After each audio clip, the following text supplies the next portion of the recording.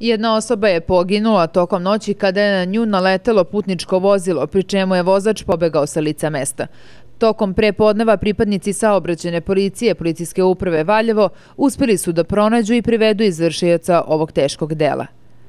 Nakon dobro isplanirane operativne akcije usmerene na suzbijanje prometa opojnih droga na teritoriji grada Valjeva, policijski službenici Policijske uprave u Valjevu su 19. aprila ove godine u večernim časovima uhapsili SP 1973. godište iz Valjeva po ovlašćenju višeg javnog tužioca određena mu je mera zadržavanja do 48 časova zbog osnovane sumnje da je izvršio krivično delo neovlašćenja proizvodnje i stavljanja u promet opojnih droga. Prilikom zaustavljanja i pregleda putničkog motornog vozila u kome se nalazi osumnjičeni u mestu Mrčić, kod istog je pronađeno 10 grama praškaste materije u grumenu za koju se osnovano sumnja da je opojna droga kokain.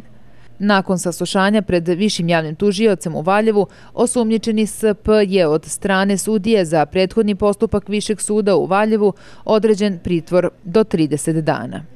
Policijski službenici Policijske uprave u Valjevu, koji obavljaju poslove na suzbijanju krijumčarenja opojnih droga i narkomanije, od početka godine uhapsili su 13 lica koje su predata nadležnim pravosudnim organima na dalju nadležnost. Od strane istih zapanjeno je 1,43 kg opojne droge marihuane, kao i 1,5 kg opojnih droga heroin, amfetamin i kokain. Takođe, podneto je ukupno 20 krivičnih prijeva zbog izvršenih krivičnih dela neovlašćenih neovlašćene proizvodnje i stavljanja u promet opojnih droga, kao i neovlašćenog držanja opojnih droga. Policijski službenici Policijske uprave u Valjevu su 19. aprila ove godine uhapsili i po odobrenju zamenika osnovnog javnog tužioca odredili meru zadržavanja do 48 časova DM 1962. godište iz Loznice zbog osnovane sumnje da je izvršio krivično delo neovlašćeno korišćenje tuđeg vozila. Nakon saslušanja pred zamenikom osnovnog javnog tužioca u Valjevu,